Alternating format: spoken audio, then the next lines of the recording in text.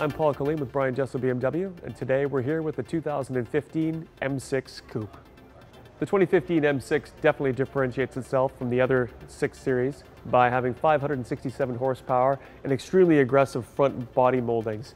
LED headlamps are optional in the vehicle as well, as well as a carbon fiber roof on the vehicle. The 4.4 liter V8 is powered by twin turbos as well, this will give you 567 horsepower and well over 500 foot-pounds of torque. Accompanied with a double clutch transmission, this makes this vehicle extremely potent. As stunning as the M6 is on the outside, on the inside it boasts full merino leather, heated and cooled seats, Bang & Olufsen sound systems and heads-up display as options as well. It's an extremely comfortable interior.